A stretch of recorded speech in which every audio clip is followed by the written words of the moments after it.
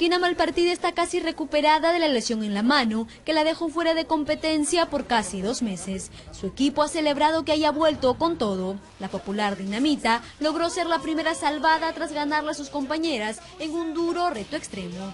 Los Leones han puesto en duda la lamentada lesión. Dejaron entrever quizá que todo se debió a una estrategia del equipo liderado por Nicola Porchela para mantener a Kina intacta para la gran final. Kina, aparentemente estando lesionada, no iba a llegar hacia la final.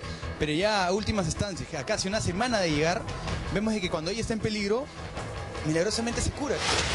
Primero no juega, se pasa toda la temporada descansando y ahora gana una sentencia para llegar a la final bien. Hoy me demostraste que realmente no estabas tan mal como, como dijiste estar. No entiendo, Kina.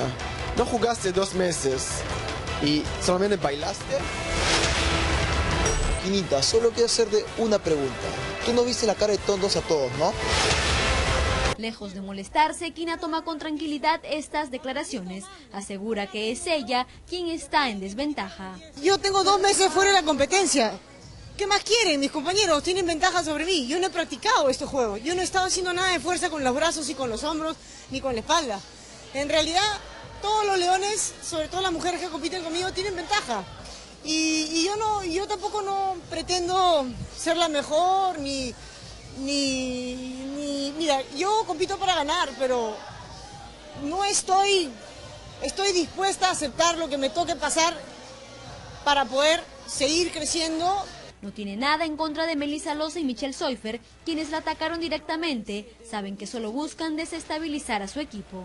Yo sé qué es lo que tienen que hacer para, para provocar un poco de discordia, polémica. Yo sé que en el fondo ellas de hecho entienden lo que es una rotura de, de mano, ¿no? Voy a estar en la final, ya es un hecho aparentemente, y bueno, daré lo mejor de mí, pero no es como uno empieza una carrera, es como uno la acaba. Yo apenas vengo empezando, así que Veamos qué pasa. Claro, esto es guerra.